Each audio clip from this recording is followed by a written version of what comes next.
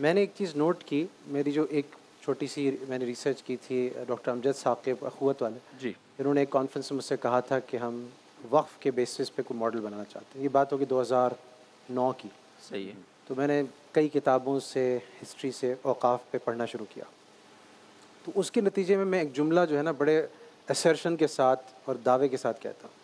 किसी कौम को मैं यूनिवर्सिटी की बात नहीं कर रहा किसी सोसाइटी की या कौम की बात हो रही कि उसको अगर उसकी ट्रैजेक्ट्री यूँ देखनी है कि ऊपर जा रही है तो आपको नज़र आएगा पीछे वहाँ पर बड़ा ज़बरदस्त तमवीली निज़ाम ख़ास तौर पे औकाफ या एंडाउमेंट्स मौजूद हैं।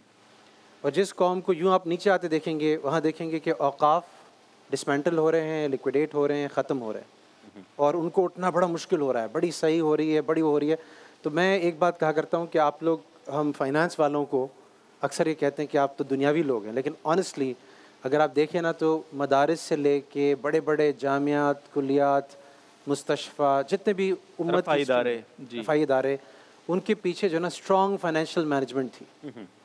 तो जो आप बात कर रहे हैं ना तो मैं तो उसको एक इंस्टीट्यूशन की बात नहीं कर रहा मैं कौमों की बात कर रहा हूँ। मैक्रो लेवल पे। मैक्रो लेवल पे। और आपको फिर सीरत से भी ये थोड़ा सा मैं तारुफ भी करा दूँ जिस मिशन पे यानी मैंने अभी के एस बी एल छोड़ के अलकाद यूनिवर्सिटी एक्सेप्ट किया है। उसमें जो single point agenda Imran Khan साहब ने पीएम ने दिया था वो यही था। कि उन्होंने कहा तब्दीली की बात हमने की है लेकिन असल तब्दीली अल्लाह के रसूल सल्लल्लाहु अलैहि वसल्लम लेकर आए। तो उनकी सीरत से हम क्या कुछ सीख सकते हैं? और उस पर कैसे तहकीक कर सकते हैं? समथिंग विच अलकादर तो अब शुरू हो रहा है मगर मदारस और जामिया जो है जामत रशीद जो है वो अरसे से इस चीज़ के को ऑलरेडी एक्सप्लोर कर रहा है। तो उस चीज़ में अगर हम इस तरफ़ देखें तो जो नबवी तालीम थी लन तनालबिरतफ़िकमत आई हज़रत उमर से ने कहा कि मैं खैबर की ज़मीन वफ़ करना चाहता हूँ सबसे महबूब यही है उन्होंने कहा मैं इसको चैटी करना चाहता हूँ सदका करना चाहता हूँ। नबी करीम सल्लल्लाहु अलैहि वसल्लम ने फरमाया कि इसको वक्फ़ कर दो। तो उस्मान का वक्फ बे, उसका बेर रोमा का और सारी चीज़ें हमारे सामने। इसी तरह से जो बहुत मेजर रोल प्ले किया सिर्फ़ मैं एक एक मिसाल दूँगा एक इंस्टीट्यूशन की कि उसने जनरेशन्स उलमा लीडर्स पॉलिटिशियंस पार्लियामेंटेरियंस एम्बेसडर्स हर किस्म के लोग तैयार किए। और उसका निज़ाम जो था वो पूरा जो था शुरू से आखिर तक वो चैटी पे भी था सदक़े ज़क़़त पे भी था उस मस्जिद का भी और उस जामिया का भी। और वो जो थी और वो जो थी ना वो फस्तबकुल खैरात की उस पर बेसिस थी। मतलब एक बार छोटा सा वाक्य आपको बताऊँ कि ख़ातून थी किसी रईस की अहलिया थी उनका नाम था फ़ातिमा। तो उन्होंने जो है ना उन्होंने कहा कि ये इतने फ़ातमी दराहम मैं रोज़ाना वक्फ़ करती हूँ जो भूखों को खाना खिलाया जाएगा और ये जो तलबा हैं इस जामिया के उनको खाना खिलाया जाएगा। दूसरी खातून उनको तरगीब हुई जैनब उन्होंने उससे बीस गुना ज़्यादा मुकर किया रोज़ का नुस्खा। अच्छा कोई चैरिटी का मखसूस उसका मशरफ या वफ़ का मशरफ फ़ॉरन स्टूडेंट्स होते थे।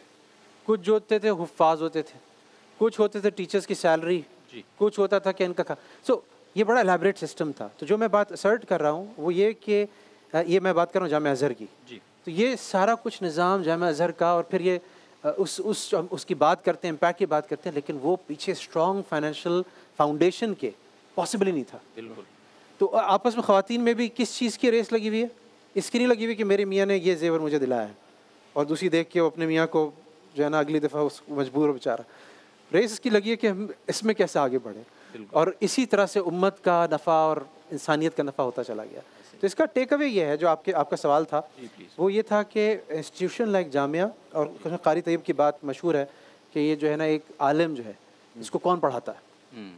और सब लोगों से पूछा किसी ने कोई कहा किसी ने कुछ कहा और आखिर बताया उम्मत पढ़ाती और इनके स्टेक होल्डर्स भी उम्मत है। तो अगर किसी दौर में ऐसा हो कि उम्मत पीछे या सोसाइटी या मुखैर हजरात या उस कौम के लोग अगर वो इस तरह की इन्वायरमेंट इस्टेब्लिश कर ना कर सकें या फिर इस्टेब्लिश करने वाले लोगों की मुआवनत ना कर सकें।